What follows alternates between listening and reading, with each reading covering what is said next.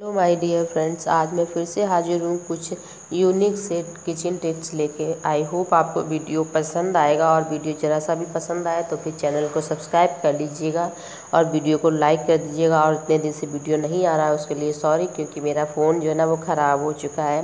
तो my dear friends अभी जो है ना वो अपने टिप को शुरू करते हैं। तो हमारा पहला टिप है इस तरह से रिंग को लेके कि हम सब लोगों को रिंग पहनना बहुत ही ज़्यादा पसंद है। लेकिन क्या होता है ना कभी कभी हम रिंग पहन के अपनी किसी रिश्तेदारी में या फिर पार्टी फ़ंक्शन में जाते हैं, जहाँ पे हमें मतलब अच्छा लगता है पहनना। लेकिन क्या होता है ना, जब हम घर के कोई भी काम करते हैं, जैसे आटा गूँथना या लाइक इस तरह के या फिर हम कपड़े वगैरह वॉश करना तो फिर तब दिक्कत हो जाती है क्योंकि रिंग पहने पहने ऐसे काम नहीं हो सकते हैं, क्योंकि कभी कभी गोल्डन की है तो फिर ये होता है कि टूटने का डर रहता है और या फिर जैसे यदि नॉर्मल है स्टोन वाली है तो फिर इनके स्टोन निकलने का डर रहता है। तो इस वजह से आप आपको मैं बता रही हूँ एक बहुत बढ़िया सा ट्रिक आपको क्या करना है? इस तरह से पिन में आपको फंसा लेनी है अपनी रिंग और उसके बाद जो आप हाथ पे जो कलावे या धागा बाँध रखे हैं ना, उसमें आप फंसा लीजिए इस तरह से और बंद कर लीजिए। इस तरह से धागा ऊपर कर लीजिए तो ये बिल्कुल भी आपकी मतलब रिंग जो है ना, वो बिल्कुल ख़राब नहीं होगी और आप रख करके कहीं भूलेंगे भी नहीं। क्योंकि यही होता है ना कि हम पार्टी या फ़ंक्शन में है तो हम कहाँ रख दें? क्योंकि कभी कभी रख के हम लोग भूल भी जाते हैं। तो होप आपको टिप अच्छी लगी होगी। और इसके बाद आप बढ़ते हैं अपने नेक्स्ट टिप की तरफ़। तो दोस्तों, क्या होता है ना जब हम कढ़ाई में एकदम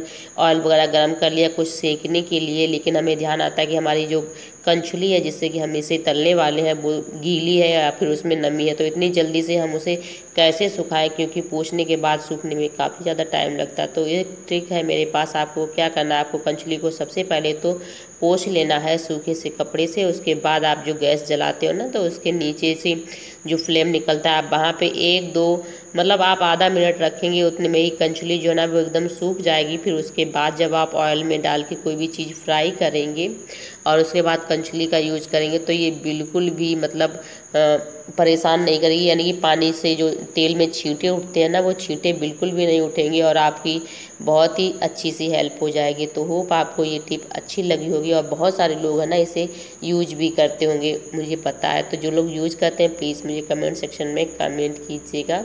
होप आपको ये टिप अच्छी लगी होगी और अगर अच्छी लगी हो तो फिर प्लीज़ एक लाइक कर दीजिएगा और अब बढ़ते हैं अपने नेक्स्ट टिप की तरफ़। तो दोस्तों, नेक्स्ट टिप है हमारा इस तरह के जो किड्स के चूड़ियाँ या कंगन आते हैं ना, जो हम लोग मार्केट या मेले से लेके आते हैं, क्योंकि अभी रामनवमी चल रही है, इस टाइप की छोटी छोटी सी चूड़ियाँ सब लोग अपने बच्चों को पहनाना पसंद करते हैं। लेकिन क्या होता है ना, हम ले आते हैं, ले आने के बाद जब बच्चों को पहनाते हैं, तब हमें पता चलता है कि इनमें अंदर साइड में जब ये मतलब चूड़ियाँ पहनाते हैं बच्चों को तो बच्चों के हाथ में ये चूड़ियाँ चुभती हैं, क्योंकि अंदर जो है ना जब ये बनते हैं तो इनमें इतनी ज़्यादा सफ़ाई नहीं होती है, क्योंकि वहाँ पे कुछ खराश जैसे रह जाते हैं। यानी कि थोड़े से उठे उठे, खुरदरे से, जो कि बच्चों के हाथ में पहनाते टाइम काफ़ी ज़्यादा प्रॉब्लम होती है। अब हम ले आए तो इन्हें क्या फेंक दें? फेंकना भी नहीं है और ऐसे पहना नहीं सकते, क्योंकि बच्चे हैं बार बार निकालते हैं, पहनते हैं तो उनके ये लग जाती है, इससे चोट भी लग सकती है, यानी कि ब्लड वगैरह भी आ सकता है।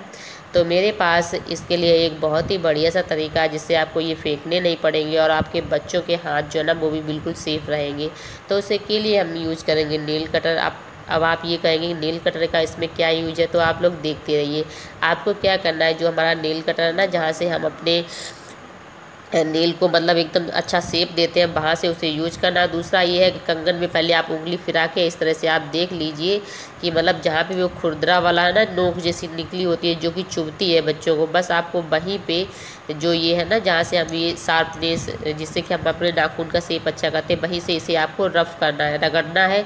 और आप रगड़ने के बाद ईजिली देख पाएँगे कि इसका जो चुभने वाला जो एरिया है ना, वो एकदम अपने आप ही इससे धीरे धीरे से रफ़ करेंगे तो फिर अपने आप घिस घिस के कम हो जाता है, बिल्कुल भी नहीं रहता है। आप एक मिनट में ही, एक मिनट लगेगा भी नहीं, इतनी जल्दी आप इसे बिल्कुल सही कर लेंगे। और ईजिली मैंने किया था, इसीलिए मैंने सोचा, चलो मैं आप लोगों के साथ भी शेयर कर दूँ, क्योंकि बहुत सारे लोग होंगे जिनके घर में छोटे बच्चे होंगे और इस तरह के कंगन वगैरह लाते होंगे, पहनाते होंगे।